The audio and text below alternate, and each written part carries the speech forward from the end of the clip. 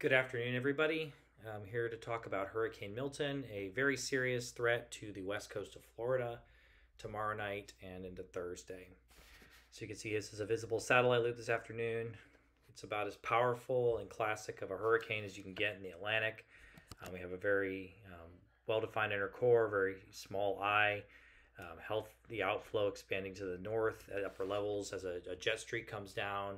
So after weakening to a category four last night, it's back up to category five now.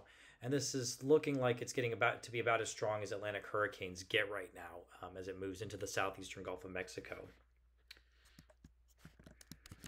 And one thing that was interesting is if you look at um, last night, it went through what's called an eyewall replacement cycle. This is from Derrick Herndon um, on Twitter. Uh, you can see how that initial eye that it formed yesterday it basically collapsed as an outer eye wall grew. Um, this is a classic process in major hurricanes. You know, the larger eye formed, and now what's happened is that larger eye is starting to contract again. We're, we're you know we're getting we're getting back up to that um, very strong, very powerful look, um, and you can see. Uh, on the Cancun radar, you can see as I zoom in here, you can see that that's what that um, you see that very uh, well defined, um, very powerful, strong eye here. Um, we could probably have another eyewall cycle at some point later tonight, um, which again, as the storm will expand, which is bad because that as the storm expands, um, you'll have the wind field expand, which will lead to um, more storm surge. But right now, we have a very powerful inner core, um, and it'll be interesting to see what the recon plane finds in a little bit. Um, we're probably well back into Category Five range um, at this point. Uh, another thing to note is that the Gulf, it's actually right now um, over, um, not even the warmest water it's going to be over. It's over about uh, 20 to 8 to 29 Celsius water right now. It's actually moving over this area of 30 to 31 Celsius um, waters because this is what's the so-called loop current where um, ocean water of the Caribbean comes into the Southeast Gulf before going up in the Gulf Stream. And this is so it's bringing all this really warm water from the Caribbean, and the hurricane will be moving over that over the next several hours tonight. So, depending on uh, whether this, like I said, whether we get an eyewall cycle starting, if, if not, we might see this make a run at even stronger intensity and, and kind of push the limits of what a hurricane in, in the Atlantic and really the world can do overnight, which is incredible to think about. Um, and look, but one thing to note though is, um, and you know, this has been advertised. We do have some environmental factors that will impede it as it gets toward landfall because you can see all there's all this dry air in the northern Gulf, um, and wind shear is the you know, the jet streams kind of cutting across here. So as the hurricane um, moves up into this, it will start to weaken um, at some point, you know, mid to late day tomorrow. But it's just a question of how much, and you know, it may not weaken a ton before it gets to land. You know, it'll still be a major hurricane probably when it gets to the uh, west coast of Florida. And so uh, people there need to be prepared for extreme impacts from wind, rain, storm surge, all the hazards. If we look at the tracks, um, we're narrowing down a little bit, maybe. Um, still kind of in the, the general area from Charlotte Harbor to Tampa, um, somewhere in that area. This is the European ensemble. Um, you know, again, it could be a little bit outside this, but this is sort of where most of our models are focusing right now. And if we go look at the GFS ensemble, um, kind of the same idea again. You know, we're still still some spread, but basically somewhere between Charlotte Harbor and Tampa Bay. Um, maybe the cluster the, right now the biggest cluster is kind of into Sarasota, Manatee County. Could be a direct hit there. Could be a little north. Could be a little south. Um, and this whole area really needs to prepare for that possibility. I'm looking at a couple of our hurricane models. This is the HWRF uh, model. You can see it kind of shows again the core does get you know you can see it kind of does get eroded by that shear and dry air, but still showing a large, powerful major hurricane. Um, this one moves into the Tampa Bay area into Pinellas County. This is HAFS um, B, which moves kind of uh, right up the mouth of Tampa Bay. Um, a little bit uh, again showing some weakening as it as it approaches the coast, but still a large and powerful hurricane spreading uh, rain inland. So this is going to again, it's going to cross the state. It's going to be an inland wind threat as well. So um, keep that in mind if you live inland along the I-4 corridor or, or you know, anywhere in Central Florida.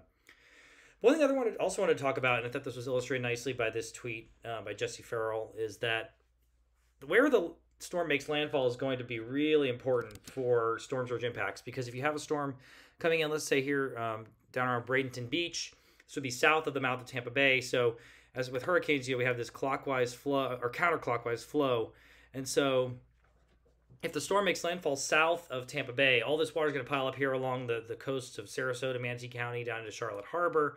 But you'd actually have um, flow out of Tampa Bay, so you'd have very little surge, maybe some piling up, you know, along parts of Safety Harbor and Eastern Pinellas here. But overall, you'd have a lot less water in the bay. And so this would be a good scenario for Tampa Bay, but obviously really bad for areas south. Whereas then, if you had, say, a storm that you know kind of did what some of the hurricane models do and move into Pinellas County, now you'd have all that wind pushing water up into the bay. Still have bad news down here in Manatee County and Sarasota County, but you'd have you know up into Tampa Bay. So for the Tampa Bay metro region, how much surge you get is really just going to be based on you know these slight changes in track, which we can't predict at this range. It's just you know little wobbles here and there could make a difference, and unfortunately, it's just something we're going to kind of have to watch and see you know, because the other possibility, I'll delete this, you know, it's not shown here, but if, if, if you get a storm even a little further south of this, like let's say it comes in down here around Venice, which is possible. Now you're going to have negative surge. You're going to have um, offshore wind uh, here in, in Manatee County as well. So that, you know, very little surge in this region. But now you're going to have a peak surge right back up into Charlotte Harbor and areas further south that got devastated by Ian. So somewhere along this region is going to see probably historic storm surge. We're just not exactly sure where yet.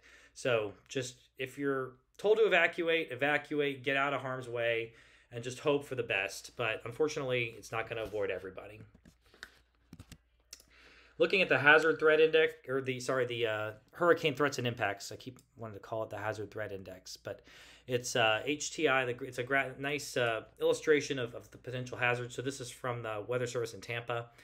Um, you can see that we have a very significant potential for wind over 110 miles an hour over the uh, western part of central Florida. Um, and then you know, hurricane force winds all along the I 4 corridor possible. Down here in South Florida, um, we're a little bit, you know, we're more in the tropical storm force winds. You know, if the track comes a little further south, maybe we, you know, might some of this might creep, some of the stronger winds could creep into the um, area just south of the uh, of the lake here. Um, so just something to keep in mind. I think uh, people down here are taking it seriously, hopefully, but you know, again, the, the core of the impact is probably going to be somewhere in the central Florida area um, near where the storm makes landfall and, you know, a little bit on either side of it. Looking at the uh, the storm surge again, you know, there, it's it's it's potential for nine feet or more with even higher amounts possible. But again, this is going to be very sensitive to um, where exactly the storm makes landfall. I'm going to change the color here, and yeah. so again, if you know if it comes in on the north side, then you probably get big surge over this whole area. If it comes in you know a little further south, you might get your more of your surge down in this region. Um, so it's just it's going to be hard to know exactly where that is until we get a little bit closer to landfall um, tomorrow.